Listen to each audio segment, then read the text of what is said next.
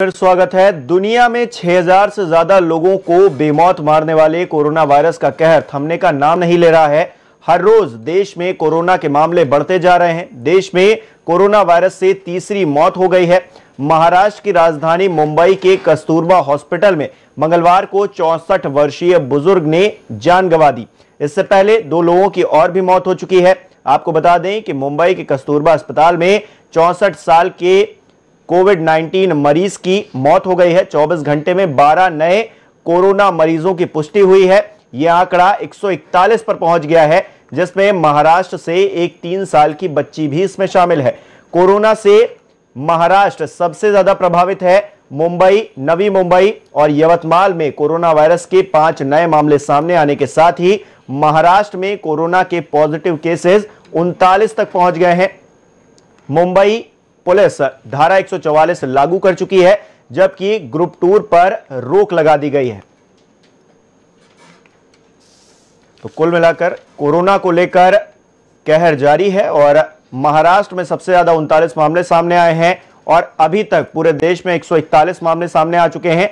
चौसठ वर्षीय एक बुज़ुर्ग की और मौत हुई है कोरोना के चलते। तो मौत का जो आंकड़ा है वो तीन पर पहुँचा है। लेकिन जो पॉजिटिव केसेस अभी तक पाए गए हैं देश भर में वो 141 पहुँच गया है। वहीं अगर पूरी दुनिया की बात करें तो दुनिया में जो है लाखों लोग इस चीज़ से प्रभावित हैं।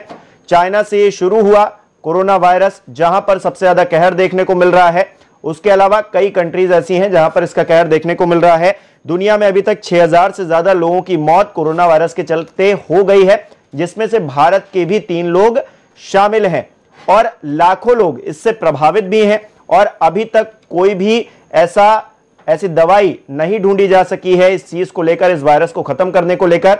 तो बचाव ही एक ज़रिया है कि आप इससे बच सकते हैं। अपने आप को कहीं ना कहीं आइसोलेट रखकर आप इस कोरोना वायरस की चपेट में आने से बच सकते हैं। हालाँकि भारत में इसका कहर कम है, अन्य देशों की तुलना में, अन्य देशों में लाखों लाख लोग इससे प्रभावित हैं। लेकिन, फ़िलहाल भारत की स्थिति 141 पर अटकी हुई है और लगातार ये संख्या बढ़ भी रही है। और इसी पर चर्चा के लिए कई मेहमान हमारे साथ इस वक्त स्टूडियो में मौजूद हैं। सुनील त्रिपाठी जी, वरिष्ठ पत्रकार के तौर पर हमारे साथ जुड़े हैं। आलोक सोती जी, सामाजिक कार्यकर्ता के तौर पर हमारे बीच हैं। विवेक श्रीवास्तव जी, भारतीय जनता पार्टी से हमारे साथ जुड़े बहुत बहुत स्वागत है आप सभी लोगों का। आलोक जी, सबसे पहले मैं आपके पास आना चाहूँगा। एक सौ इकतालीस आंकड़ा पहुँच गया है और तीन लोगों की मौत हुई है। कोरोना वायरस के चलते किस तरह से देख रहे हैं स्थिति को और ये जो आपातकाल वाली स्थिति है, कब थमेगी इस बारे में तो कोई भी कुछ कहने को तैयार नहीं है हिमांशु जी फिर भी काफ़ी कंट्रोल में स्थिति हम्म। है क्योंकि 130 करोड़ जनता का ये मुल्क है उसमें मात्र अभी 100 का ही आंकड़ा पार हुआ है हम्म। अगर आप चाइना को देख लें वहाँ पे भी हज़ारों लोग जो है इससे इफेक्टेड हुए हैं और हम्म। काफ़ी लोगों की मृत्यु दर भी हुई है आप इधर इटली में भी देख लीजिए सबसे ज़्यादा जो है दुर्भाग्य जो है इटली देश का नज़र आ रहा है हालाँकि वहाँ पे जो मृत्यु हुई है हज़ारों में हुई है लेकिन वो सत्तर वर्ष से ऊपर वाले थे इसी तरह आप ईरान में देखिए वहाँ पे भी जो खबरें आ रही हैं, वो भी सुखदायी नहीं है हम्म। आप नीचे आ जाइए स्पेन में आ जाइए, यूएस में आ जाइए और फ्रांस में आ जाइए, यहाँ पे भी आंकड़ा तेज़ी से बढ़ता चला जा रहा है। हालाँकि भारत में आप देखते हैं कि हम लोग जो सैनिटेशन का जो सिस्टम है, बहुत ही उतना उत्तम नहीं है जितना जो है आपके यूरोप और यूएस का है। लेकिन उसके बावजूद भी ईश्वर की कृपा है कि हम लोग के पास कोई ऐसा महामारी जैसा नहीं आया, जैसे कि एक समय में आया करता था आज़ादी, पूरी आज़ादी के समय कि प्लेग फैल गया तो पूरा बंगाल साफ़ हो गया तो इस तरीके की अभी जो स्थिति वो नहीं है इसका हो सकता है दो कारण हो। एक तो यहाँ के जो सरकार ने उसने बहुत ही जल्दी जो है मेजर्स लिए थे। बाहर से जो है एक वायरस आ रहा था जिसको रोकने की पूरी कोशिश की गई थी। और दूसरी बात ये जो यहाँ समझ में आ रही है कि यहाँ का जो टेम्परेचर है वो का, इतना काफ़ी मतलब भरे का है काफ़ी बड़ा है जिसकी वजह से जो है आपका ये वायरस जो है उतना डेवलप नहीं हो पा रहा है। देखिए हम्म। कोई भी वायरस होगा वो प्रोटीन के अंदर जो एमिनो एसिड्स जो उसके कंपोनेंट होते हैं उसके अंदर वो रिसाइड्स करता है। हम्म। जो कोविड नाइन्टीन है हालाँकि डब्ल्यूएचओ ने इसको जो है महामारी के रूप में घोषित कर दिया है। भारत में भी कई राज्यों में महामारी घोषित कर दिया है। स्कूल कॉलेज सिनेमा हॉल पफ और सब आदि जहाँ पे इकट्ठा हो सकते हैं लोग उसको बंद कर दिया है होटल रेस्टोरेंट को। लेकिन फिर भी जो है इस समय जो बात कही जा रही है कि इसकी क्योंकि कोई मेडिसिन कोई वैक्सीन अभी तक नहीं बन पाई है। हालाँकि इसका जो आरएनए स्ट्रक्चर है उसकी स्टडी कर ली गई है। कोरोना केवल एक नहीं है इनकी पूरी फैमिली है। पाँच से सात जो वायरस है वो मिलकर कोरोना बना रहे हैं। हम्म। लेकिन उस आरएनए का जो एंटीजन बनना है उसमें टाइम लगता है क्योंकि उसकी टेस्टिंग होती है और उसमें एक डेढ़ साल का जो है जेसरेशन पीरियड होता है तब आपके ज़रिए कि अगर टेम्परेचर वजह वजह है और कहा यह जा रहा है कि आने वाले वक्त में क्योंकि गर्मियाँ आ रही हैं ऐसे में ये वायरस टेम्परेचर के चलते निष्क्रिय हो जाएगा। तो हम देखें, केरला में भी बहुत सारे लोग इससे प्रभावित रहे। वहाँ का टेम्परेचर 30 के आसपास आज के समय में ठंड में भी बना रहता है। नहीं देखिए कैरियर है ना जो बाहर से आए हैं वो कोरोना को लेके आए हैं। वहाँ से स्प्रेड नहीं हुआ है। हम्म। तो जो आदमी कोरोना को लेके अगर कहीं बाहरी देश से आ रहा है हम्म। तो उसके लिए आप क्या कर सकते हैं? हम्म। अगर अगर वहीं से डेवलप होता तो आप देखते कि आधे से ज़्यादा जो है वो शहर या वो जो इलाका है वो इफेक्टेड होता। जो इसके इन्फेक्शन के से जो करीब आ रहे जो तीमारदार लोग हैं जो आप देख रहे हैं कि देखा गया है सबसे अच्छी बात है कि ये एयर में ट्रांसमिट नहीं होता ये लिक्विड फॉर्म के अंदर से हो रहा है यानी जो लंग्स को जो सांसों को जो तकलीफ़ पहुँचा रहा है जिसकी वजह से खांसी जुकाम होता है तो उससे जो सलाइवा निकलता है उसके अंदर ये रिसाइड्स करता है वो जो जिसके टच में आता है तो इफेक्टेड हो रहा है। तो कुल मिला के ये आप कह सकते हैं कि कोरोना एक महामारी है जिसको भारत सरकार ने भी एक्सेप्ट किया है और कई राज्यों में जो है इसको महामारी के रूप में ले रहे हैं। बचाव ही इसका जो है सबसे अच्छा उपाय है जिसको सैनिटेशन के द्वारा और जो ग्रसित लोग हैं जो कोरोना ग्रसित हैं, उससे दूरी बना के, उसको आइसोलेशन में रख के ही अचीव किया जा सकता है, इससे लड़ा जा सकता है। सुनील जी, बचाव ही एक ज़रिया है, जिसके ज़रिए हम बच सकते हैं इससे अदरवाइज़ कुछ और नहीं है। हालाँकि एक डॉक्टर ने यह भी कहा है कि अभी दूसरी स्टेज में है कोरोना, तीस दिन के अंदर अगर हमने सारी चीज़ें मैनेज कर ली तो ठीक है, नहीं तो अगर स्टेज थ्री में पहुँच गया, यानी कि जो लोग बाहर से आ रहे हैं, उनके ज़रिए हम लोग जो आम जन में होने लगा और आम जन से आम जन में होने लगा यानी कि तीसरी स्टेज में पहुँच गया तो मामला खतरनाक हो जाएगा। फ़िलहाल के लिए मामला ठीक है। सेकेंड स्टेज में है जो बाहर से आ रहे हैं उन्हीं को ये चीज़ें हैं। जी। जी हमारी केंद्र सरकार जो है कोरोना को लेके काफ़ी सक्रिय है। और मैं देख रहा हूँ कि मोबाइल से लेकर सब जगह जागरूकता एक अभियान चलाया जा रहा है हम्म। कि आप स्वच्छ रहें स्वस्थ रहें। हम्म। और मेरा मानना है कि अब पब्लिक भी जागरूक हो रही है हम्म। छोटे से बड़े तक और जो भी सामान स्वच्छता के हैं हैंड वॉश के वो सामान सस्ते भी आ गए हैं मार्केट में मैं कल एक सामान लेने गया था जिसका रेट तीस रुपए था हम्म। उसने बीस रुपए हमसे लिए हमने कहा दस रुपए का गवर्नमेंट कम कर दिया है। हम्म। तो ऐसी सुविधाएँ गवर्नमेंट दे रही है हम्म। तो अच्छी बात कम से कम उस पर हम लोग नियंत्रण करें। दूसरी बात कि हमारा देश तो भगवान सारे चलता है। इससे भी नहीं मुकर सकते आप। सबसे ज़्यादा परमात्मा कृपा रहे तीन ऋतुएँ हमको मिलती हैं तीन मौसम हमको मिलते हैं और सबसे ज़्यादा सुरक्षा ईश्वर हमको देता है। जैसे भी डॉक्टर साहब ने कहा कि ईश्वर ही यहाँ चला रहा सही बात है कि ऐसा नहीं देखिए हर चीज़ ईश्वर सहाय रहने वाली नहीं लेकिन फिर भी प्रकृति हमारी हमारे साथ हमेशा रहती है। और जिस हिसाब से आज दुनिया में फैला हुआ है कोरोना उससे भी भारत में बहुत कम है। हम्म। और हो सकता है जैसा कि डॉक्टर लोग कह रहे हैं या वैज्ञानिक कह रहे हैं हम्म। कि गर्मी आने पे और गर्मी में आपने देखा भी होगा कि मई जून जब गर्मी आती है हम्म। तो यहाँ मच्छर खत्म हो जाते हैं। तो प्रकृति भी नियंत्रण करती है। ऐसी स्थितियों में हमको जागरूक रहने की आवश्यकता है स्वच्छता ध्यान देने की आवश्यकता है और भीड़ भाड़ एरिया में न जाए तो ज़्यादा ही अच्छा है। नियंत्रण तो कहीं ना कहीं सोच रहा अगर एक दो पेशेंट जहाँ सवा सौ करोड़ लोग हैं एक दो लोग अगर खत्म भी आते हैं तो कोई विशेष चिंता की बात नहीं है। हर स्तर पर निपटने के लिए सरकार भी हमारी जागरूक है और पब्लिक भी जागरूक हो रही है।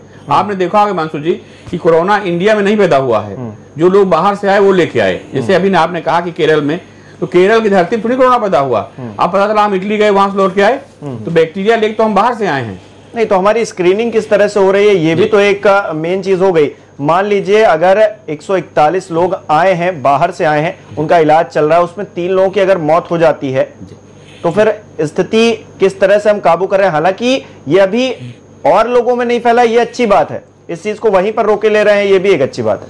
नहीं कंट्रोल बहुत किया गया है। हम्म। आप देखिए अमेरिका जैसा विकासशील विकसित देश वहाँ भी कितने बाईस सौ या बारह सौ की रिपोर्ट आई है कि लोग खत्म हो गए। हम्म, हम्म, बारह सौ बाईस सौ ऐसे है मैं देख रहा था कल जागरण में। तो जब वहाँ ऐसे देशों में 1200 सौ लोग खत्म हो रहे हैं तो हमारे पास सौ सौ करोड़ लोग हैं। अगर ये दो तीन लोगों के पास ऐसा हुआ भी तो कोई चिंता विशेष चिंता की बात नहीं है लेकिन जागरूक होने की आवश्यकता है। सरकार हर ठोस कदम उठा रही है। हमारी डॉक्टरों की टीम भी मैंने देखा मेडिकल कॉलेज में भी कि डी हिमांशु जी पूरी टीम को देख रहे हैं और सही ढंग से इलाज हो रहा है। चलिए एक छोटा सा कमेंट विवेक जी आपसे भी चाहूँगा एक और खबर का रुख करना है। विवेक जी क्या हम तैयार हैं बिल्कुल? इस चीज़ से लड़ने के लिए 141 लोग अभी तक संक्रमित हैं। बिल्कुल तैयार है हिमांशु जी। भारत सरकार ने इस विषय पे स्क्रीनिंग जनवरी में ही शुरू करा दिया था एयरपोर्टों पे। और जो लोग कहीं से इसमें से बच के निकल गए या भागे हैं उनको भी पकड़ करके स्क्रीनिंग में लाया जा रहा है आइसोलेट किया जा रहा है। और कोरोना पूरी तरह भारत सरकार के यहाँ नियंत्रण में है। ये सरकार का को क्रेडिट इसका देना पड़ेगा। चलिए बिल्कुल आपको क्रेडिट है और आगे स्थितियाँ नहीं बिगड़ेंगी इस बात का भी यकीन है। एक और खबर का रुख कर लेते हैं। मध्य प्रदेश में चल रही राजनीतिक सरगर्मी के बीच बेंगलोर में मौजूद बागी कांग्रेसी विधायकों ने मीडिया से बातचीत की है जिसमें उन्होंने कहा है कि वो कमलनाथ सरकार की कार्यशैली से खुश नहीं है। उनका कहना है कि ज्योतिरादित्य सिंधिया हमारे नेता हैं, हम भोपाल लौटने के लिए तैयार हैं, लेकिन हमें केंद्रीय सुरक्षा दी जानी चाहिए। हालाँकि विधायकों का कहना है कि अभी उन्होंने बीजेपी में जाने का फैसला नहीं किया है, वे इस पर विचार करने के बाद ही फैसला करेंगे। उन्होंने अपने ऊपर भाजपा द्वारा बंधक बनाए जाने पर कहा कि वो अपनी मर्ज़ी से आए हैं। वहीं बागी विधायकों ने कहा कि जब उन्होंने अपनी दिक्कतों को राहुल गांधी के सामने रखा तो उन्होंने भी माना कि हमारे साथ अन्याय हुआ है। विवेक जी आप ही के पास आना चाहूँगा। जो बागी विधायक हैं 16 जो विधायक हैं उनको बताया गया कांग्रेस की तरफ़ से कि बंधक बना के रखा गया। लेकिन जब वो मीडिया के सामने आए तो कहीं ना कहीं इस बात को क्लियर करते हुए कि वो अपनी मर्ज़ी से आए हैं। विवेक जी। हिमांशु जी अब जब 16 विधायक खुद बता रहे हैं कि हम अपनी मर्ज़ी से आए हैं तो कांग्रेस का झूठ तो देश के सामने आ गया। और कहीं ना कहीं कमलनाथ सरकार से ये लोग नाराज़ हैं इन्होंने इस्तीफा दिया है। और ये लोग खुद बता रहे हैं कि राहुल गांधी से भी हमारी बात हुई थी, वहाँ से भी हमको संतुष्टि नहीं मिली। बार बार हमारे द्वारा ये कहा जा रहा है कि कांग्रेस का नेतृत्व अपने लोगों में विश्वास कायम रखने में नाकामयाब है। कांग्रेस के नेतृत्व से लोगों का भरोसा उठता जा रहा है। ज्योतिरादित्य सिंधिया जी कांग्रेस छोड़ के गए, अन्य लोग भी जाना चाहते हैं। जगह जगह कांग्रेस के लोग इस्तीफा दे रहे हैं। लेकिन ज्योतिरादित्य जी तो बीजेपी में आ गए लेकिन ये 16 विधायक अभी भी जो है बीजेपी में आ जाएँगे इस बात की वो पुष्टि नहीं कर रहे हैं। इस बारे में विचार करने की बात हम उन्हें लाने भी नहीं जा रहे हैं। जी। उन्होंने इस्तीफा दिया है अगर उनका इस्तीफा मंजूर होता है तो आगे की राजनीतिक रास्ते वो खुद चुनेंगे। उसमें भारत अगर वो भारतीय जनता पार्टी के पास आएँगे तो भारतीय जनता पार्टी का नेतृत्व निर्णय लेगा। लेकिन अगर वो नहीं आएँगे तो हम बुलाने भी नहीं जा रहे हैं। अच्छा ज्योतिरादित्य सिंधिया को जैसे आपने स्वागत किया दिल खोलकर हाथ खोलकर इन सोलह लोगों को अभी करेंगे अगर आएँगे तो? अगर आएँगे तो करेंगे। इस बात से कोई फ़र्क नहीं पड़ेगा कि इनकी विचारधारा बहुत अलग रही। नहीं अलग जो भी रही हो जिस दिन हमारी विचारधारा को स्वीकार करके हमारे पास वो आ रहे हैं हमारे झंडे के नीचे आ रहे हैं हम उनका स्वागत करेंगे। हम बार बार आपसे कह चुके हैं कि देखिए हम संगठन विस्तार करते हैं अपरिचित से परिचित परिचित से मित्र मित्र से कार्यकर्ता।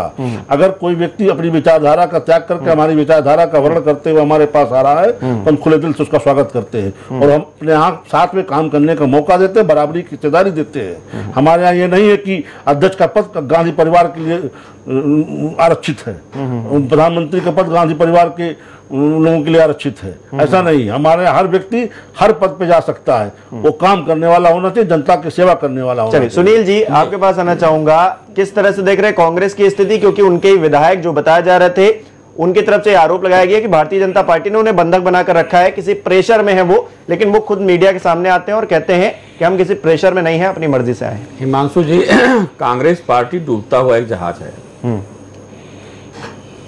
अब हमें तो ऐसा लग रहा है जो लोग समझ रहे हैं वो वो दरकिनार हो रहे हैं। हाँ जो समझ रहे हैं कि भूत भविष्य वर्तमान हमारा क्या है क्या था वो सब अपना किनारा कर रहे हैं। तो इस डूबते हुए जहाज़ से जो लोग उतर रहे हैं वो अच्छी बात है। जब अभी आपने भी कहा कि विधायक जब मिलना चाह रहे थे राहुल गांधी जी से। तो जब व्यक्ति संतुष्ट ही नहीं होगा तो आप साथ कब तक रहेगा? और विवेक जी जो कह रहे हैं कि मित्र मित्र से अपरिचित से परिचित परिचित से मित्र कार्यकर्ता ये एक भाजपा की अच्छी प्रणाली है कि कम से कम आप वहाँ लेकिन लेकिन विचारधारा इसमें मेन है। राजनीति में तो विचारधारा ही मेरी समझ से मेन होती है। वो हिमांशु जी अब ना राजनीति की विशेष धारा कोई धारा रह गई उसकी अपनी ना अपना कोई ज़मीन रह गया है। इस बात से तो हम सहमत नहीं हैं कि वही आदमी अभी कांग्रेस में आता है तो इंदिरा जी की नीतियों देखता है नेहरू जी की नीतियों देखता है। तो ऐसे जो मतलबी विधायक हैं या फिर ऐसे मतलबी नेता हैं वो पार्टी में आएँगे तो पार्टी को भी उसी तरीके से डाल देंगे। नहीं भाजपा एक समुद्र है उसमें आने के बाद सब बदल जाते हैं। जब आपके ऊपर एक कुंटल शरीर दो कुंटल बोल लग जाएगा तो धारा तो आगे बदली जाएगी। जिस विचारधारा से आप आए हैं जिस विचारधारा में आप रहना शुरू कर दें वो तो परिवर्तन हो जाता है। और ऐसे दल बदलू विधायकों की कोई विचारधारा होती नहीं है। लेकिन जब ऐसे विधायकों की कोई विचारधारा नहीं है तो ये किस तरह के। नहीं नहीं नहीं मेरा सवाल एक बड़े स्तर पे इसलिए है किसी पार्टी विशेष के लिए नहीं है। कि ऐसे विधायक जो इधर से उधर बड़ी जल्दी हो जाते हैं उनकी जब कोई विचारधारा नहीं है तो वो किस तरह के जनप्रतिनिधि हैं भाई? ऐसा है जी दल दल बदल विधेयक पास हुआ। आपने भी देखा है। जी। लेकिन कोई उसका असर दिखाई पड़ता है। लेकिन वन थर्ड उनको मेजोरिटी चाहिए ना उस चीज़ के लिए। जी जी तो अब एक ये थोड़ा सा बंदिश ऐसे क्या होता चार विधायक नाराज़ हो चले गए दूसरे में। तो दल बदल विधेयक लागू- होने से ये तो हो एक बंदिश तो हो गई एक सीमा तो आपकी हो गई है। कि आप इस दायरे में रहेंगे वन थर्ड होगे तभी आप जा पाएँगे। दूसरी बात ये केंद्रीय जो जो नेतृत्व तो होता है प्रदेश का या केंद्र का उसकी भी ज़िम्मेदारी बनती है कि हमारा परिवार क्यों बिखर बिखर रहा है। या तो उनकी इच्छाओं की हम पूर्ति नहीं कर पा रहे हैं संतुष्ट नहीं कर पा रहे हैं। अगर हम संतुष्ट कर रहे हैं तो हमारे पार्टी विधायक हमसे अलग हो ही नहीं सकते हैं। आपने देखा होगा कि भाजपा जहाँ जहाँ सरकार रहती है विधायक टूटते जाते हैं जाते तो कम जाते हैं। अगर इधर कदा कभी स्थिति आई। क्यों? क्योंकि नेतृत्व मज़बूत है नेतृत्व साथ उनकी आस्था और विश्वास है। जहाँ आस्था और विश्वास होगा वहाँ व्यक्ति छोड़ के नहीं जाएगा। नहीं अब कांग्रेस की बात नहीं यहाँ आस्था रह गई ना विश्वास रह गया। केवल एक परिवारवाद चल रहा देखिए कब तक चलता है। हमको तो लग रहा कि अब कांग्रेस का अस्तित्व हिंदुस्तान से समाप्ति हो रहा है। जैसे रामदेव जी ने कहा ही था। लोकतंत्र के लिए ये अच्छी बात नहीं है लेकिन देखिए विपक्ष विपक्ष ना रह जाए विपक्ष इतना कमज़ोर हो जाए कि वहाँ नेता ही ना रह जाए कोई बात उठाने के लिए। नहीं हिमांशु जी हिमांशु जी विपक्ष में और भी दल है कोई कांग्रेस ही विपक्ष नहीं है। नहीं सबसे बड़ा दल तो कांग्रेस ही। है इसके अलावा इसके अलावा सब क्षेत्रीय दल हैं कोई ऐसे बड़े दल नहीं है जो पूरे देश में फैले हो। निंदक नेरे राखे आंगनगुड़ी छवाए। विपक्ष इसीलिए संविधान बना था कि एक पक्ष एक विपक्ष। पक्ष काम है जनता की सेवा करना जनता की योजनाओं का क्रियान्वयन करना। विपक्ष का है उन खामियों को निकालना जो जनता तक नहीं पहुँच रही है। तो ये बात तो सही तो लोकतंत्र के लिए दिक्कत तो खैर है अगर विपक्ष नहीं होगा तो कौन कमियाँ देखेगा? आप एक रा- राजतंत्र की तरह लोकतंत्र नहीं राजतंत्र की तरह कार्य करेंगे कहने वाला कोई नहीं होगा। ठीक है आलोक जी आपके पास आना चाहूँगा। मेरे दो सवाल मेन यही है कि एक तो लोकतंत्र की दृष्टि से खत्म होता विपक्ष और दूसरी चीज़ ये है ये जो विधायक है जिनकी कोई विचारधारा नहीं है इनको हम मतलबी कहें या फिर चालाक कहें। चालाक इस सेंस में कि वो बहुत स्मार्ट हैं उनको पता है कि कौन सी पार्टी अब डूबने वाली है तो इससे अपना दरकिनार हो जाना चाहिए। यहाँ पे हमको फ़ायदा है इसलिए हम इस पार्टी से जुड़ जाएँ। देखिए हिमांशु जी आपको देखना पड़ेगा कि आज़ादी से पहले नेता का क्या मतलब था और आज़ादी के बाद। जी। आज़ादी से पहले जो नेता होता था वो देशभक्त होता था फांसी पे चढ़ता था और आज़ादी के बाद जो नेता होता है वो जो है वो सेवक कहलाता है। तो वो कहता है कि हम तो सेवक हैं। तो जो ज़ाहिर सी बात है जो नेता जो सेवक बनेगा पहले अपनी वो- जो है वो मेवा खाने के लिए है। और आप आप देख रहे हैं कि देश में एक विधायक का चुनाव लड़ना कितना महँगा हो गया है। जहाँ धन बल लगने लगता है तो वहाँ पे नैतिकता दम तोड़ देती है।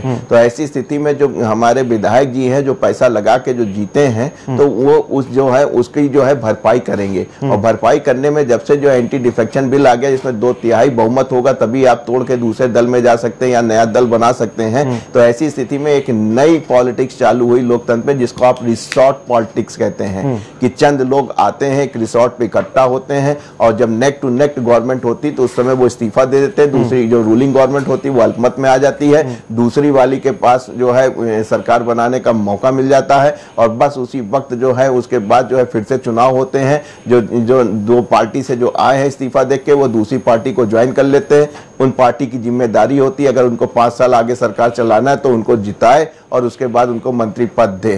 तो इस प्रक्रिया में कई चरण होते हैं। हर चरण में उनकी जो है आर्थिक आय होती है जिसकी वजह से जो है विधायक अपने को सुरक्षित समझते हैं और अपने को जो जो, जो जनता की सेवा करने आए हैं या जो जो पावर चाहते हैं गवर्नमेंट की जो पावर चाहते हैं वो उनकी बनी रहती है। तो कुल मिला के ये लोकतंत्र की मेरिट कहें या डिमेरिट कहें इस प्रकार की व्यवस्था चलती रहेगी। हाँ आपकी जो चिंता है वो जायज़ है कि क्या हमारे पास विपक्ष का होना लोकतंत्र में अनिवार्य है और वो विपक्ष क्या खत्म होता जा रहा है राष्ट्रीय स्तर पर। हालाँकि आपको कई जगह पे विपक्ष देखने को मिलेंगे जो रीजनल पार्टी के रूप में है काफ़ी सशक्त है काफ़ी तो काम कर तरफ़ है ही है। छत्रप तो एक तरफ़ है ही है वो राज्यों के लिए है लेकिन जो बड़े लेवल पे आप देख पाए कि अगर हम केंद्रीय राजनीति को मद्देनजर में रखें तो उसके लिए तो कांग्रेस ही एक ऐसी पार्टी है जो पूरे देश में या तो राज कर चुकी है या तो मौजूद है।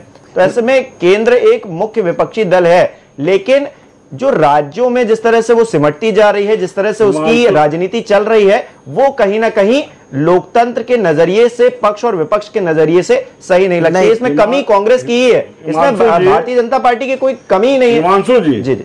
कांग्रेस को आप बार बार प्रमुख विपक्षी दल कह रहे हैं। कभी ये भी देखिए क्या वो राष्ट्र के प्रति अपनी जिम्मेदारियों का निर्वहन भी कर पा रही है।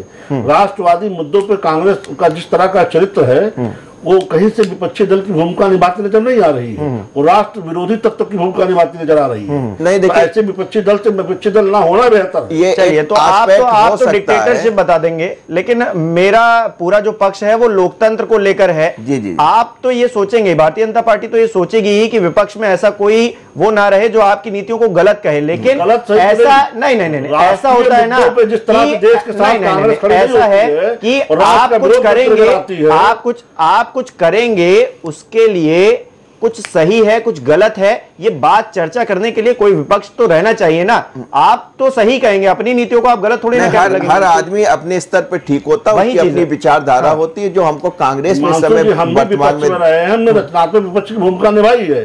कांग्रेस कहीं से भी रचनात्मक विपक्ष की भूमिका निभाते नहीं दिखती है। कांग्रेस देशद्रोहियों के साथ खड़ी हो जाती है राष्ट्र विरोधी तत्वों के साथ खड़ी हो जाती है। ऐसे विपक्ष से तो विपक्ष का ना रहना बेहतर है। ठीक है। आलोक जी ऐसे विपक्ष का ना रहना नहीं ऐसी बात नहीं है। देखिए बहुत से होते हैं कि आपका प्रो एंड कॉन्स होते हैं। किसी भी एक समस्या के दो पहलू होते हैं। हो। सकता है वो दूसरे पहलू को देख रही हो लेकिन मुझे जो कांग्रेस की जो समस्या नज़र आ रही है वो सत्तर वर्षीय जो कांग्रेसी हैं जो सोनिया जी के चारों तरफ़ एक कोठरी बना रखी है उसमें है और जो युवा हैं जो राहुल जी के साथ हैं उनको उतनी तरजीह नहीं मिल रही जितनी जो है सोनिया जी के साथ जो लगे हुए हैं। वयोवृद्ध उनको मिल रही है। यही मेन कारण है कि जो युवा जोश है और जो बूढ़े जो हो गए कांग्रेसी उनके बीच में जो टकराव आ रहा है उसकी परिणति आपको देखने को मिल रही है। अभी आपको यहाँ देखने को मिली फिर देखिएगा आपको शायद महाराष्ट्र में जल्दी झांकी मिले अगर ऐसी स्थिति रही तो आने वाले वक्त में क्या तस्वीर देख पा रहे हैं नहीं देखिए रिसोर्ट पॉलिटिक्स चलती रहेगी जब तक नेक टू नेक रहेगी। तो ये जनता की ज़िम्मेदारी है जिस तरह के उत्तर प्रदेश में आपने देखा